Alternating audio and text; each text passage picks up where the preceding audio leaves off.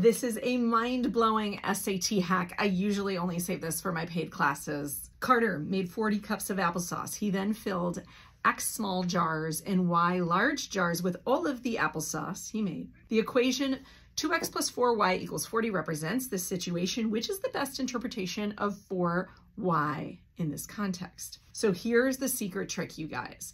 Anything added or subtracted in an equation always has the same label. And this is super cool. It works across algebra and word problems. You see how this is 40 cups right here, you guys? So I know this is cups. If this is cups, then this is cups and this is cups. So I know it's gotta be cups. So I instantly get rid of A and B because it's not the number of jars. I know that because it's gotta be cups. And then the other thing is four, is that gonna be large or small? Well, this pertains to large, so it has to be the total number of large, right? Not small, label hacking. Everything added or subtracted has the same label.